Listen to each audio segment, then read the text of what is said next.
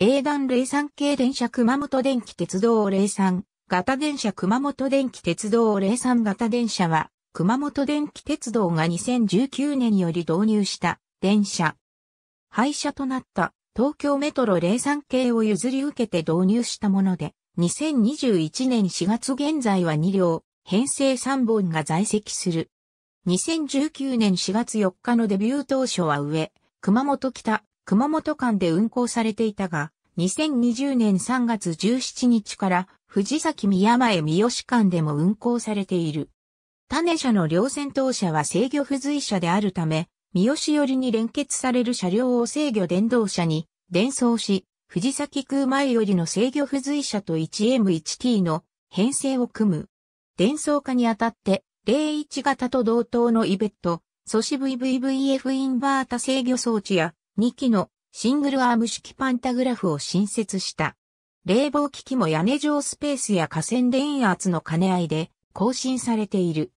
また、他形式同様、レシプ製液晶ディスプレイ、運賃箱や整理券発行機、後方確認用のミラー、発射ベルなどといったワンマン運転に必要な各種機器も搭載した。運転台はマスコンを改造前の縦、横軸ツインレバー型のものから両手ワンハンドルマスコン型に交換した。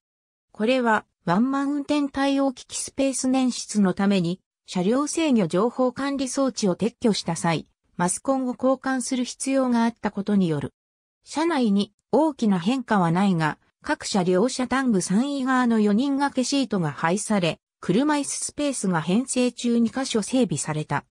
乗降用ドア上の旅客情報案内装置は、路線図によって埋め込まれ、中吊り広告や車両間の貫通扉も撤去された。ドアチャイムは熊本電鉄仕様のものへ交換された。車両の外観について東京メトロのロゴが貼られていた箇所には、それに合わせたデザインの熊本電鉄車掌が01型と同様に貼られた。行き先表示器は種車の3色 LED 式を流用した。